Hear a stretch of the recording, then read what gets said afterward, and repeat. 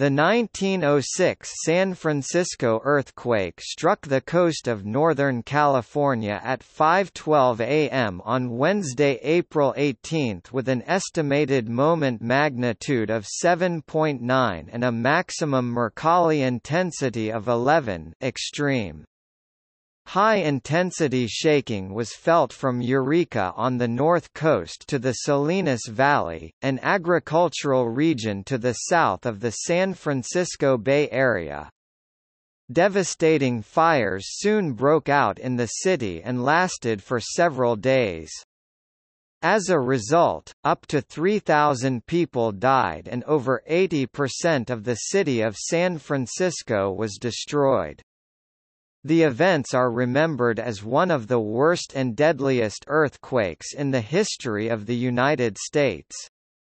The death toll remains the greatest loss of life from a natural disaster in California's history and high in the lists of American disasters.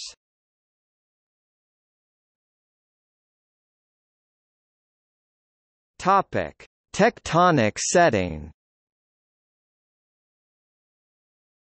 The San Andreas Fault is a continental transform fault that forms part of the tectonic boundary between the Pacific Plate and the North American Plate.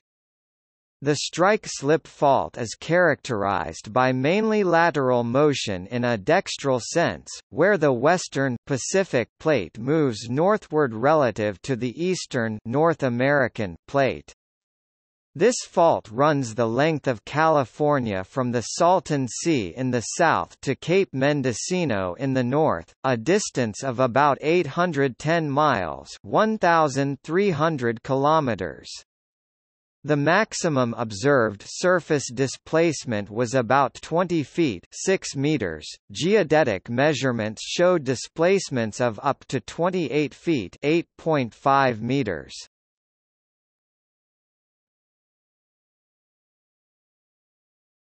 Topic: Earthquake. The 1906 earthquake preceded the development of the Richter magnitude scale by three decades. The most widely accepted estimate for the magnitude of the quake on the modern moment magnitude scale is 7.9. Values from 7.7 to as high as 8.3 have been proposed. According to findings published in the Journal of Geophysical Research, severe deformations in the Earth's crust took place both before and after the earthquake's impact. Accumulated strain on the faults in the system was relieved during the earthquake, which is the supposed cause of the damage along the 450 km long segment of the San Andreas Plate boundary. The 1906 rupture propagated both northward and southward for a total of 296 miles 476 kilometers. Shaking was felt from Oregon to Los Angeles, and inland as far as central Nevada. A strong foreshock preceded the main shock by about 20 to 25 seconds. The strong shaking of the main shock lasted about 42 seconds. There were decades of minor earthquakes, more than at any other time in the historical record for Northern California, before the 1906 quake. Widely interpreted previously as precursory activity to the 1906 earthquake, they have been found to have a strong seasonal pattern and have been postulated to be due to large seasonal sediment loads in coastal bays that overlay faults as a result of the erosion caused by hydraulic mining in the later years of the California Gold Rush. For years, the epicenter of the quake was assumed to be near the town of Olema, in the Point Reyes area of Marin County, because of evidence of the degree of local Earth displacement. In the 1960s, a seismologist at UC Berkeley proposed that the epicenter was more likely offshore of San Francisco, to the northwest of the Golden Gate. The most recent analyses support an offshore location for the epicenter, although significant uncertainty remains. An offshore epicenter is supported by the occurrence of a local tsunami recorded by a tide gauge at the San Francisco Presidio. The wave had an amplitude of approximately 3 in 8 centimeters and an approximate period of 40 to 45 minutes. Analysis of triangulation data before and after the earthquake strongly suggest that the rupture along the San Andreas Fault was about 5 500 km in length, in agreement with observed intensity data. The available seismological data support a significantly shorter rupture length, but these observations can be reconciled by allowing propagation at speeds above the S-wave velocity supershear. Supershear propagation has now been recognized for many earthquakes associated with strike-slip faulting. Recently, using old photographs and eyewitness accounts, researchers were able to estimate the location of hypocenter of the earthquake as offshore from San Francisco or near the city of San Juan Bautista, confirming previous estimates.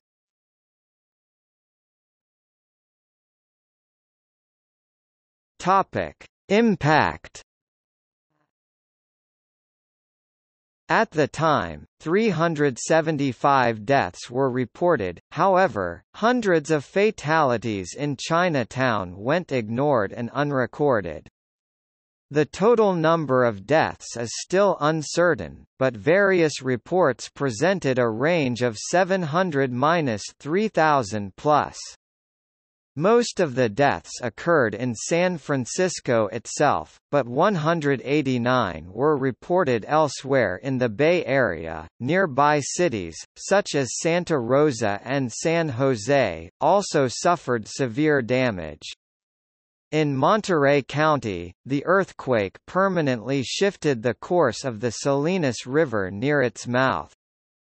Where previously the river emptied into Monterey Bay between Moss Landing and Watsonville, it was diverted 6 miles south to a new channel just north of Marina. Between 227,000 and 300,000 people were left homeless out of a population of about 410,000. Half of those who evacuated fled across the bay to Oakland and Berkeley. Newspapers described Golden Gate Park, the Presidio, the Panhandle and the beaches between Ingleside and North Beach as covered with makeshift tents. More than two years later, many of these refugee camps were still in operation. The earthquake and fire left long-standing and significant pressures on the development of California. At the time of the disaster, San Francisco had been the ninth largest city in the United States and the largest on the West Coast, with a population of about 410,000. Over a period of 60 years, the city had become the financial, trade and cultural center of the West, operated the busiest port on the West Coast, and was the gateway to the Pacific through which growing U.S. economic and military power was projected into the Pacific and Asia. Over 80% of the city was destroyed by the earthquake and fire. Though San Francisco rebuilt quickly, the disaster diverted trade, industry and population growth south to Los Angeles, which during the 20th century became the largest and most important urban area in the West. Many of the city's leading poets and writers retreated to Carmel by the sea where, as the Barness they established the arts colony reputation that continues today. The 1908 Lawson Report, a study of the 1906 quake led and edited by Professor Andrew Lawson of the University of California, showed that the same San Andreas fault which had caused the disaster in San Francisco ran close to Los Angeles as well. The earthquake was the first natural disaster of its magnitude to be documented by photography and motion picture footage and occurred at a time when the science of seismology was blossoming.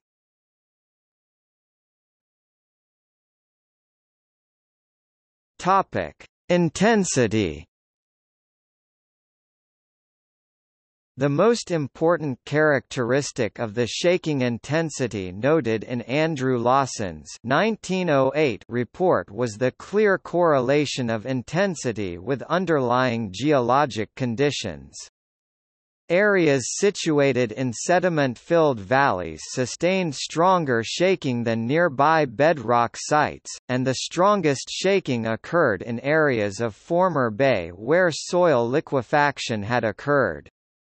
Modern seismic zonation practice accounts for the differences in seismic hazard posed by varying geologic conditions. The shaking intensity as described on the modified Mercalli intensity scale reached 11 extreme in San Francisco and areas to the north like Santa Rosa where destruction was devastating.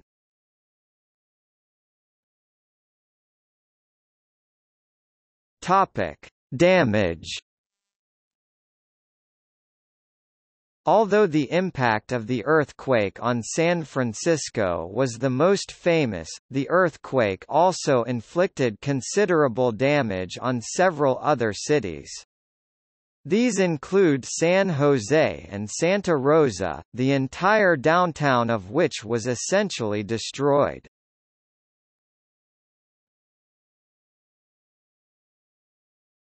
Topic: Fires. As damaging as the earthquake and its aftershocks were, the fires that burned out of control afterward were even more destructive. It has been estimated that up to 90% of the total destruction was the result of the subsequent fires. Within three days, over 30 fires, caused by ruptured gas mains, destroyed approximately 25,000 buildings on 490 city blocks. One of the largest of these fires was accidentally started in a house on Hayes Street by a woman making breakfast for her family. This came to be known as the ham and eggs fire. Some were started when firefighters, untrained in the use of dynamite, attempted to demolish buildings to create firebreaks. The dynamited buildings themselves often caught fire. The city's fire chief, Dennis T. Sullivan, who would have been responsible, had died from injuries sustained in the initial quake. In all, the fires burned for four days and nights. Due to a widespread practice by insurers to indemnify San Francisco properties from fire, but not earthquake damage, most of the destruction in the city was blamed on the fires. Some property owners deliberately set fire to damaged properties, in order to claim them on their insurance. Capt.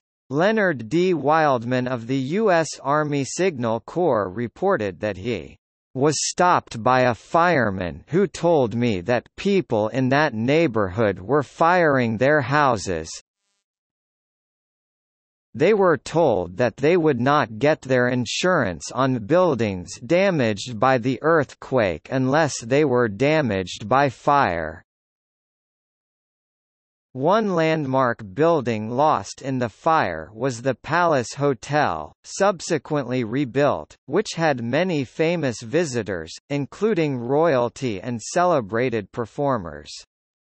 It was constructed in 1875 primarily financed by Bank of California co-founder William Ralston, the man who built San Francisco.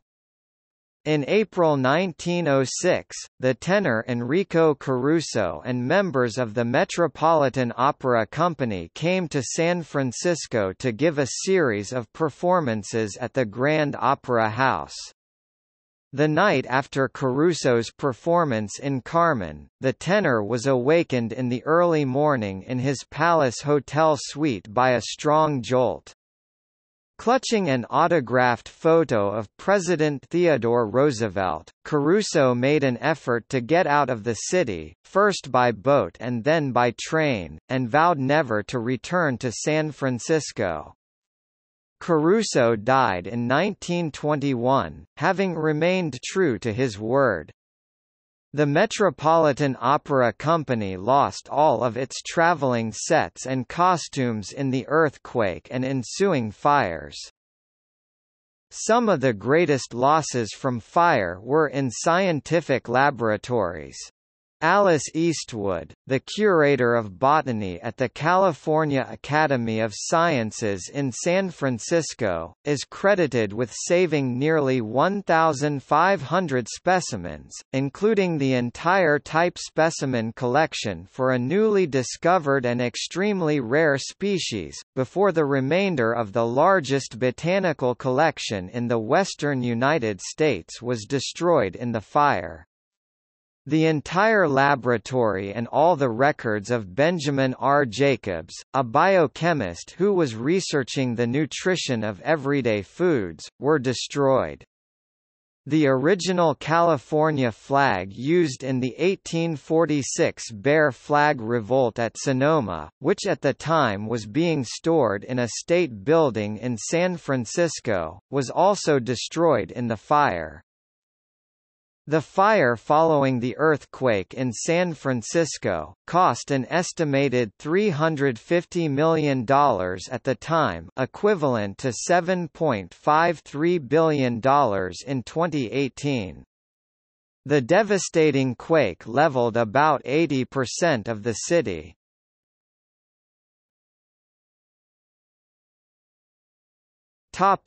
Response The city's fire chief, Dennis T. Sullivan, was gravely injured when the earthquake first struck and later died from his injuries. The interim fire chief sent an urgent request to the Presidio, an army post on the edge of the stricken city, for dynamite. General Frederick Funston had already decided that the situation required the use of troops. Telephoning a policeman, he sent word to Mayor Eugene Schmitz of his decision to assist, and then ordered Army troops from nearby Angel Island to mobilize and come into the city. Explosives were ferried across the bay from the California Powder Works in what is now Hercules. During the first few days, soldiers provided valuable services like patrolling streets to discourage looting and guarding buildings such as the U.S. Mint, Post Office, and County Jail. They aided the fire department in dynamiting to demolish buildings in the path of the fires. The Army also became responsible for feeding, sheltering, and clothing the tens of thousands of displaced residents of the city. Under the command of Funston's superior, Major General Adolphus Greely, commanding officer, Pacific Division, over 4,000 troops saw service during the emergency. On July 1, 1906, civil authorities assumed responsibility for relief efforts, and the army withdrew from the city. On April 18, in response to riots among evacuees and looting, Mayor Schmitz issued and ordered posted a proclamation that The federal troops, the members of the regular police force and all special police officers have been authorized by me to kill any and all persons found engaged in looting or in the commission of any other crime. In addition, accusations of soldiers themselves engaging in looting also surfaced. Early on April 18, 1906, recently retired Captain Edward Ord of the 22nd Infantry Regiment was appointed a special police officer by Mayor Eugene Schmitz and liaisoned with Major General Adolphus Greely for relief work with the 22nd Infantry and other military units involved in the emergency. Ord later wrote a long letter to his mother on the April 20 regarding Schmitz's shoot to kill order and some despicable behavior of certain soldiers of the 22nd Infantry who were looting. He also made it clear that the majority of soldiers served the community well.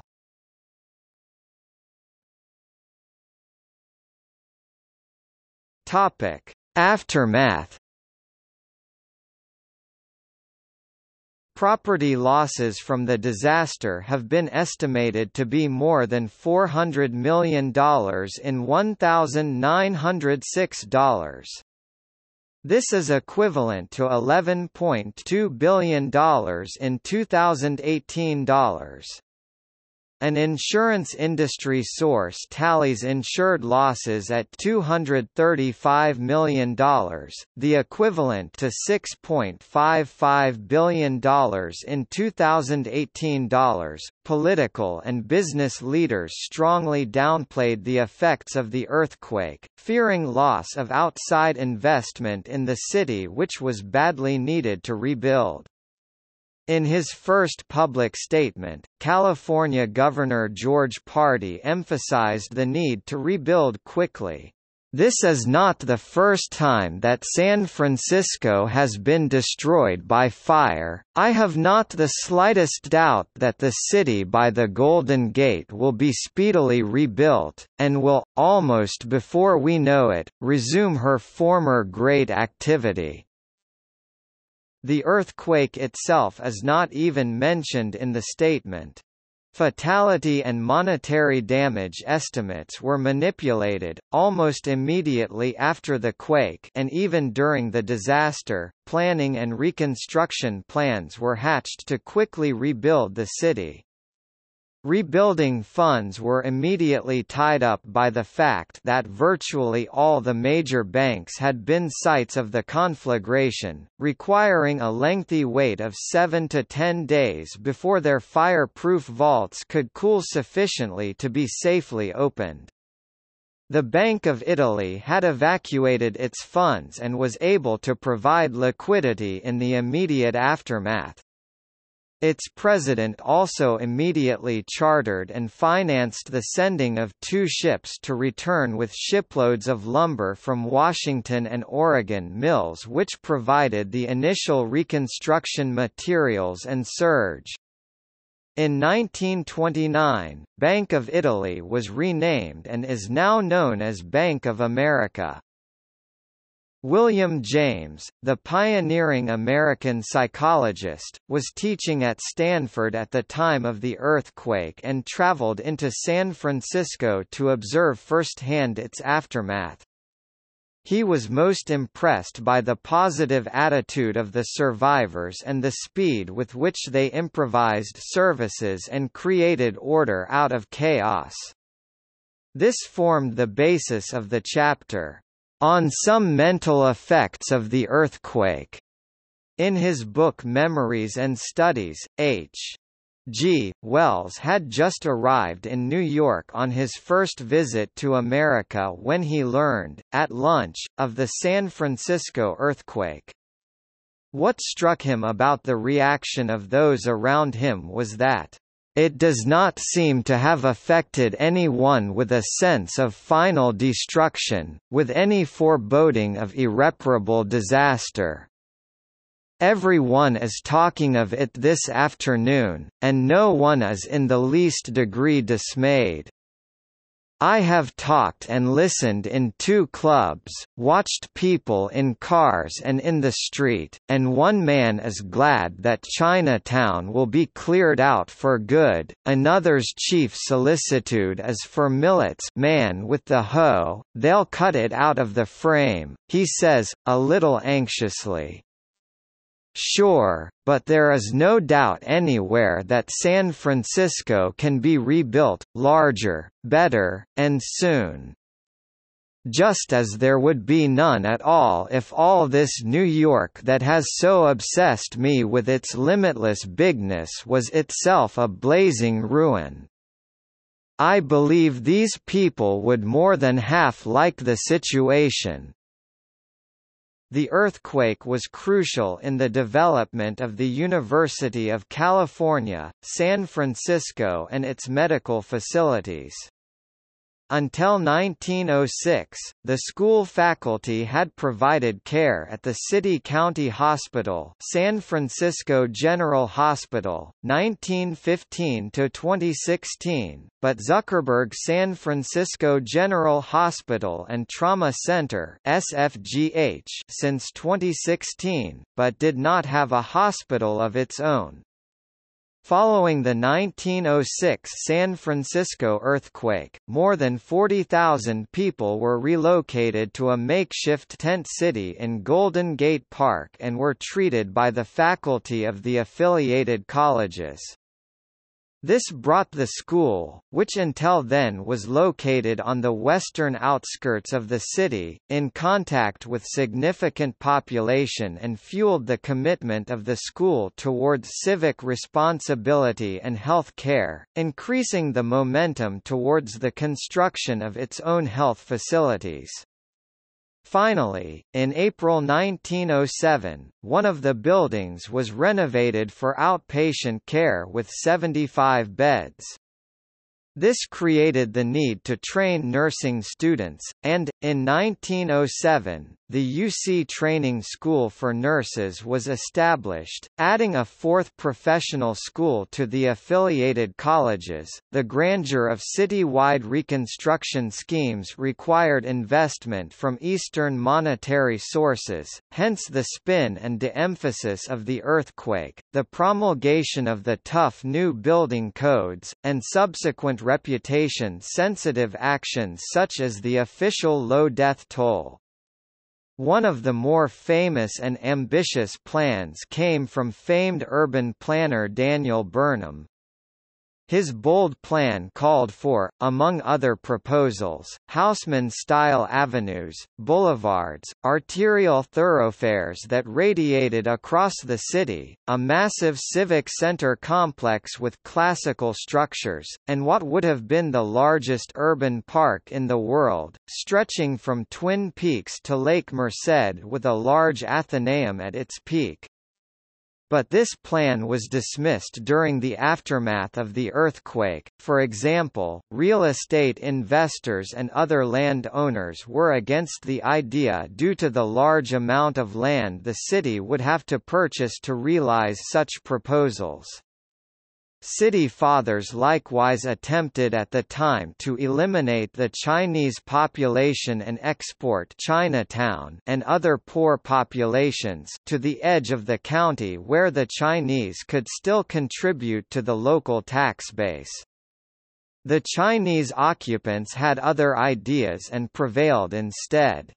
Chinatown was rebuilt in the newer, modern, Western form that exists today. The destruction of City Hall and the Hall of Records enabled thousands of Chinese immigrants to claim residency and citizenship, creating a backdoor to the Chinese Exclusion Act, and bring in their relatives from China. While the original street grid was restored, many of Burnham's proposals inadvertently saw the light of day, such as a neoclassical civic center complex, wider streets, a preference of arterial thoroughfares, a subway under Market Street, a more people-friendly Fisherman's Wharf, and a monument to the city on Telegraph Hill. Coit Tower. The earthquake was also responsible for the development of the Pacific Heights neighborhood. The immense power of the earthquake had destroyed almost all of the mansions on Nob Hill except for the James C. Flood Mansion. Others that hadn't been destroyed were dynamited by the Army forces aiding the firefighting efforts in attempts to create firebreaks. As one indirect result, the wealthy looked westward where the land was cheap and relatively undeveloped, and where there were better views and a consistently warmer climate. Constructing new mansions without reclaiming and clearing old rubble simply sped attaining new homes in the tent city during the Reconstruction. Reconstruction was swift, and largely completed by 1915, in time for the 1915 Panama Pacific International Exposition which celebrated the reconstruction of the city and its rise from the ashes. Since 1915, the city has officially commemorated the disaster each year by gathering the remaining survivors at Lotta's Fountain, a fountain in the city's financial district that served as a meeting point during the disaster for people to look for loved ones and exchange information.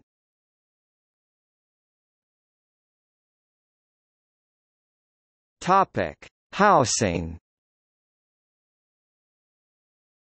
The Army built 5,610 redwood and fir relief houses to accommodate 20,000 displaced people.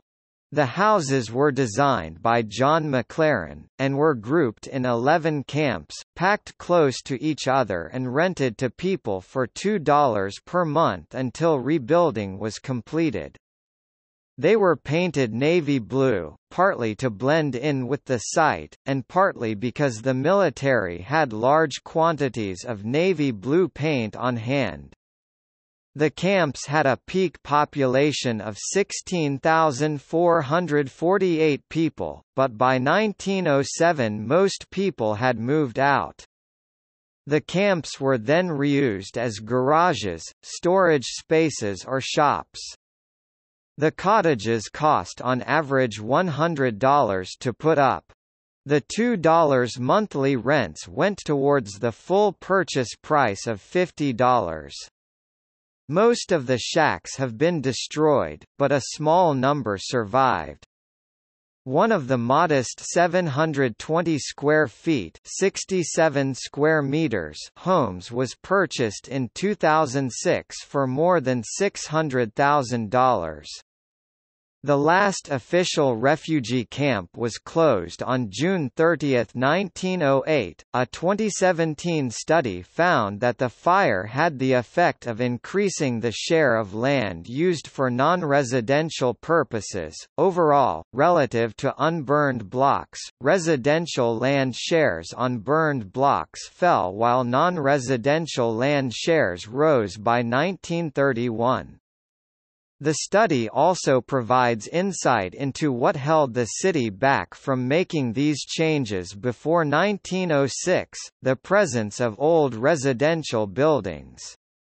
In Reconstruction, developers built relatively fewer of these buildings, and the majority of the reduction came through single-family houses. Also, aside from merely expanding non-residential uses in many neighborhoods, the fire created economic opportunities in new areas, resulting in clusters of business activity that emerged only in the wake of the disaster. These effects of the fire still remain today, and thus large shocks can be sufficient catalysts for permanently reshaping urban settings.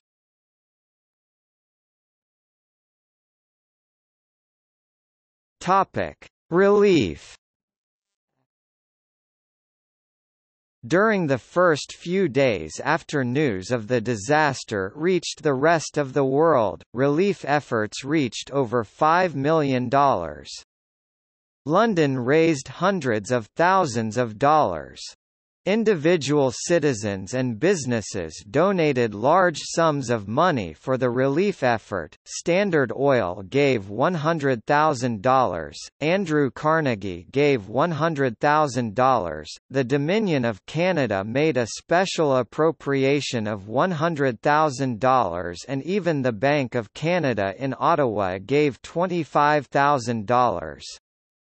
The U.S. government quickly voted for $1 million in relief supplies which were immediately rushed to the area, including supplies for food kitchens and many thousands of tents that city dwellers would occupy the next several years. These relief efforts were not enough to get families on their feet again, and consequently the burden was placed on wealthier members of the city, who were reluctant to assist in the rebuilding of homes they were not responsible for. All residents were eligible for daily meals served from a number of communal soup kitchens and citizens as far away as Idaho and Utah were known to send daily loaves of bread to San Francisco as relief supplies were coordinated by the railroads.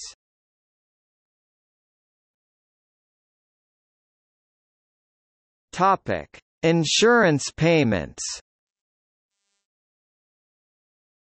Insurance companies, faced with staggering claims of $250 million, paid out between $235 million and $265 million on policyholders' claims, often for fire damage only, since shake damage from earthquakes was excluded from coverage under most policies. At least 137 insurance companies were directly involved and another 17 as reinsurers. 20 companies went bankrupt, and most excluded shake damage claims. Lloyd's of London reports having paid all claims in full, more than $50 million and the insurance companies in Hartford, Connecticut report also paying every claim in full, with the Hartford Fire Insurance Company paying over $11 million and Aetna Insurance Company almost $3 million. After the 1906 earthquake, global discussion arose concerning a legally flawed flawless exclusion of the earthquake hazard from fire insurance contracts. It was pressed ahead mainly by reinsurers. Their aim, a uniform solution to insurance payouts resulting from fires caused by earthquakes. Until 1910, a few countries, especially in Europe, followed the call for an exclusion of the earthquake hazard from all fire insurance contracts. In the U.S., the question was discussed differently. But the traumatized public reacted with fierce opposition. On August 1, 1909, the California Senate enacted the California Standard Form of Fire Insurance Policy, which did not contain any earthquake clause.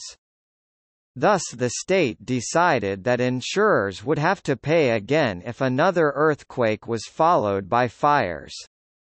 Other earthquake-endangered countries followed the California example. The insurance payments heavily affected the international financial system. Gold transfers from European insurance companies to policyholders in San Francisco led to a rise in interest rates, subsequently to a lack of available loans and finally to the Knickerbocker Trust Company crisis of October 1907 which led to the Panic of 1907.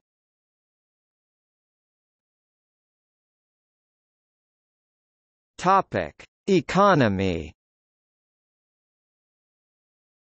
A 2019 paper found that cities that were more severely affected by the earthquake experienced lower population increases relative to less affected cities until the late 20th century. The author attribute this to migrants opting not to go to severely affected cities while migrating to the American West.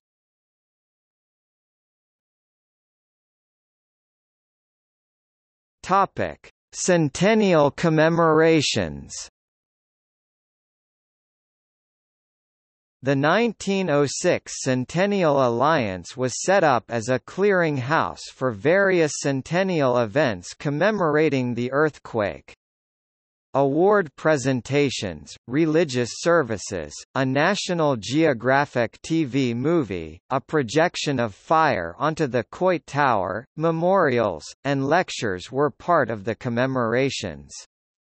The USGS Earthquake Hazards Program issued a series of Internet documents, and the tourism industry promoted the 100th anniversary as well. Eleven survivors of the 1906 earthquake attended the centennial commemorations in 2006, including Irma Mae Weule May 11, 1899 to August 8, 2008, who was the oldest survivor of the quake at the time of her death in August 2008, aged 109. Vivian Illing, December 25, 1900 to January 22, 2009, was believed to be the second oldest survivor at the time of her death, aged 108, leaving Herbert Hamrell, January 10, 1903 to February 4, 2009, as the last known remaining survivor at the time of his death, aged 106. Another survivor, Libera Armstrong, September 28, 1902 to November 27, 2007, attended the 2006 anniversary, but died in 2007, aged 105. Shortly after Hamrell's death, two additional survivors were discovered. William Del Monte, then 103, and Jeanette Scola Trapani April 21, 1902 to December 28, 2009, 106, stated that they stopped attending events commemorating the earthquake when it became too much trouble for them. Del Monte and another survivor, Rose Cliver, then 106, attended the earthquake reunion celebration on April 18, 2009, the 103rd anniversary of the earthquake. Cliver October 9, 1902 to February 18, 2012 died in February 2012, aged 109. Nancy Stoner Sage February 19, 1905 to April 15, 2010 died, aged 105, in Colorado just three days short of the 104th anniversary of the earthquake on April 18, 2010. Del Monte attended the event at Lotta's Fountain on April 18, 2010 and the dinner at John's Restaurant the night before. 107-year-old George Quilici (April 26, 1905 to May 31, 2012) died in May 2012, and 113-year-old Ruth Newman (September 23, 1901 to July 29, 2015) in July 2015. William Del Monte, January 22, 1906 to January 11, 2016, who died 11 days shy of his 110th birthday, was thought to be the last survivor. In 2005, the National Film Registry added San Francisco earthquake and fire, April 18, 1906, a newsreel documentary made soon after the earthquake, to its list list of American films worthy of preservation.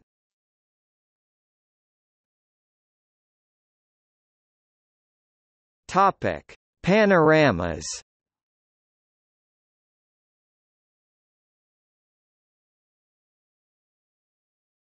Topic: In popular culture. Eleven days later on April 29, 1906, a rare Sunday baseball game was played in New York City between the Highlanders and the Philadelphia Athletic to raise money for quake victims. Sunday baseball was not allowed in New York City on a regular basis until 1919. The movie Frisco Jenny depicts the earthquake. The 1936 movie San Francisco is based on the event. Rebuilding San Francisco following the 1906 earthquake destruction is a scenario in the SimCity video game. In Part 2 of the episode, Time's Arrow, of Star Trek, The Next Generation, the crew of the USS Enterprise time travels back to 1893, where Captain Jean-Luc Picard places a monitoring device in a hospital ward, claiming to a curious doctor that he's helping to make the building safer from earthquakes. The doctor scoffs that, "...there hasn't been an earthquake here in 30 years," referencing the "...great." Earthquake of October 21, 1868, and unaware that the much more devastating 1906 earthquake is only 13 years in the future. In the Walt Disney animated film, Big Hero 6, the fictional setting of San Francisco is intended to be San Francisco in an alternate timeline in which the city was rebuilt by Japanese immigrants following the earthquake, though the premise is never mentioned in the film.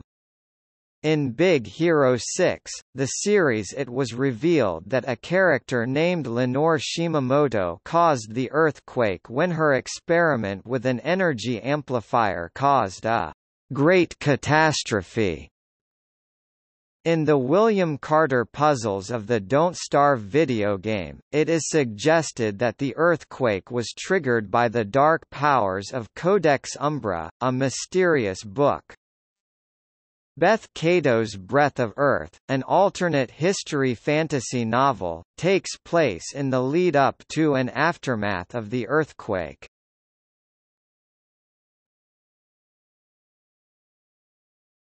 Topic See also.